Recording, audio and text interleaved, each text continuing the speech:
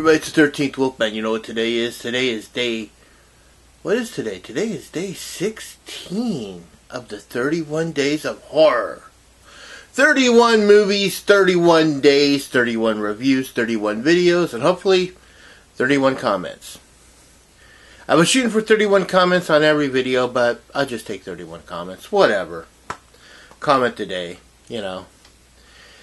But before we get into that, about what's what I'm going to talk to you about today, I'm going to ask you to like, subscribe, share, and comment.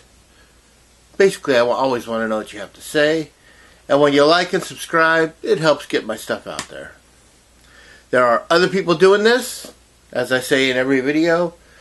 There's uh, Random Horror, Echo, Jennifer Toshi, uh, who else? There is Have Cheetah Will View, I am the Ice Lord, Double Shot J, Mood 616, and of course, as always, the one and only MSJ, Brother Max for short.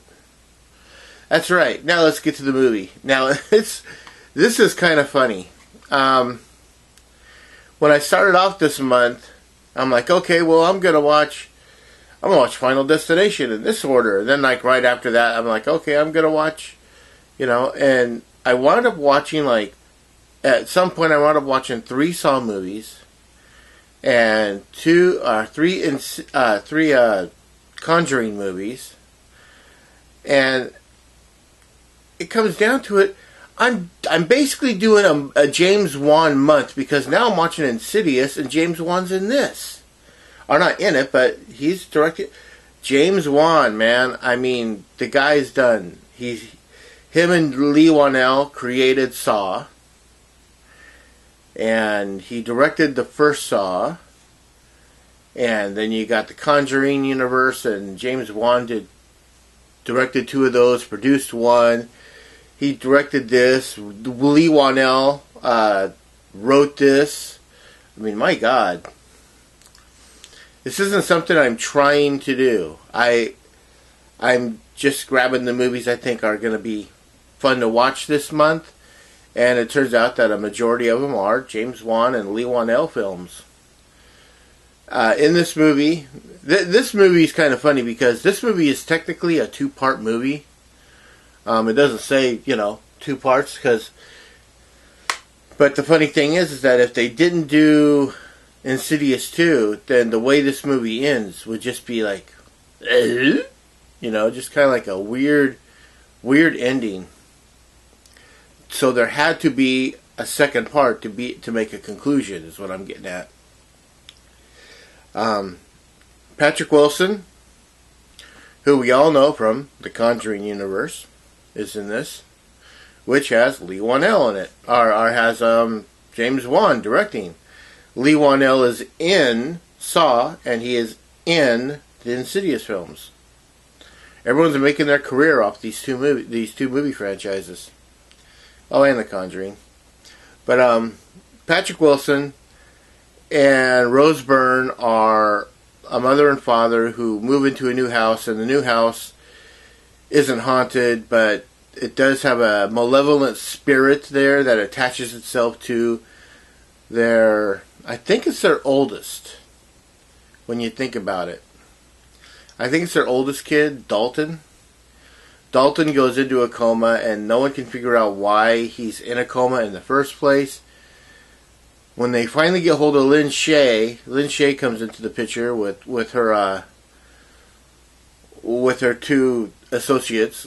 You know, um, they figure out that Dalton's body is fine. It's his spirit that's too far away from its body in a in a another plane of existence, another dimension, you know, and it can't find its way back.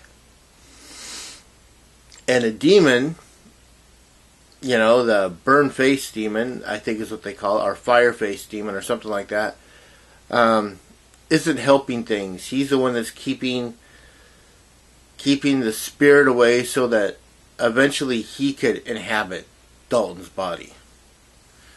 There's a lot going on in this movie. Um, it turns out that when Patrick Wilson's character was a kid, he had done something similar, so he he knows how to get into the place that they refer to as the further. That's where the that's the spiritual realm. It's a cool movie. I mean, it's a really really cool movie. It's got a really weird ending, and so once the ending is there, you're just kind of like, oh, well, there's got to be a second film. Of course, there's a second film. They, they've got out five films. I haven't seen the most recent one, The Red Door, but I've seen everything else, and I've enjoyed most of them. I do think that this and the second one are a little too long of a story. It could have been condensed some, but eh, whatever. Insidious from the directors, uh, uh, from the makers of Paranormal Activity, director James Wan and writer Leigh Whannell. This I love creepy, demonic type movies, and especially when you got a kid in it. The kid doesn't do anything, but creepy kids are really fun to watch. Um, this is just another uh, another well representation of the way horror should be. You know, um, you look at how they do it nowadays, and it's it's okay. There's a lot of good stuff out there, but but this and The Conjuring and you know, I mean, these movies just kind of set the standard for if you want to freak somebody out, you want to get underneath their skin, you want to be creepy, then go by this standard. That's about all I have. I really like Insidious. You can pretty much guess from my theme what's going to be showing up tomorrow. Um, but yeah, these are just fun movies, man. And you know what? I didn't see Insidious. I didn't see any of the Insidious films for the longest time because I thought it was one of those horror for the masses type things. It's like, oh, we're, you know, I at the time I think I was like trying to find more underground, more, you know, not is like I said, horror for the masses, not not such pop stuff and it turned out that it wasn't pop stuff. It was actually really, really good. I, I bought the bought the first three movies. They were on sale one year, and I'm just kind of okay. Since they're on sale and they're next to nothing, I'll I'll give them a chance, and I wound up liking them.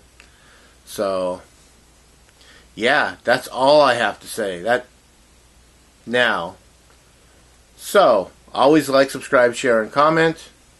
I Always want to know what you have to say. Check out the other people doing the 31 days.